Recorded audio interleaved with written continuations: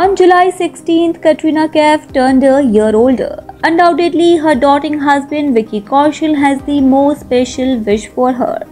He shared an array of photos from their recent candid moments and penned a lovely note for her. In one of the photos, we can spot how the duo was lost in each other's embrace while being clicked by the lens. They were also seen indulging in some puja rituals and selfie moments in Vicky's picture carousel.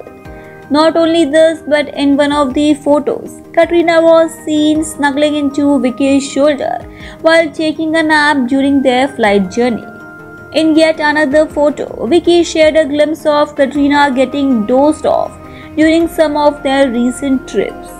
Sharing such unseen photos, Vicky penned making memories with Katrina is the favorite part of his life and wrote, Making memories with you is my favorite part of life. Happy birthday, my love. For a few days, rumors have been rife about Katrina's pregnancy.